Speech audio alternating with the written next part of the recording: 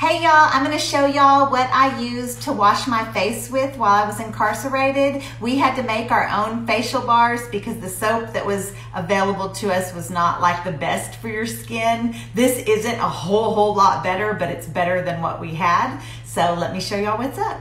I'm gonna use two bars of soap and this is like something that we would purchase off commissary. This is actually from a hotel, but it's similar in size to what that we had available on commissary. And I'm gonna use some plain oatmeal. I took this out of a container. It's instant oatmeal. In um, prison, we had little packets and I would have used one of those packets. And a few, um, I have four of these little vitamin E capsules that I'm gonna pop open and put in the soap.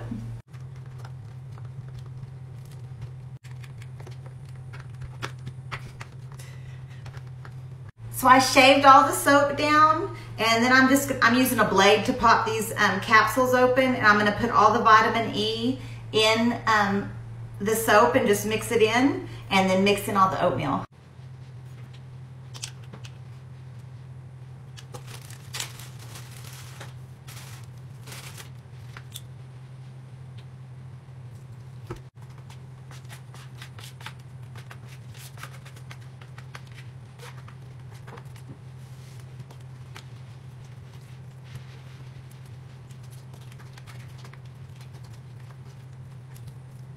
Okay guys, it turned out pretty nice and this is just what I would use. You have to let it dry before you actually use it. So I'm just gonna set to this to the side.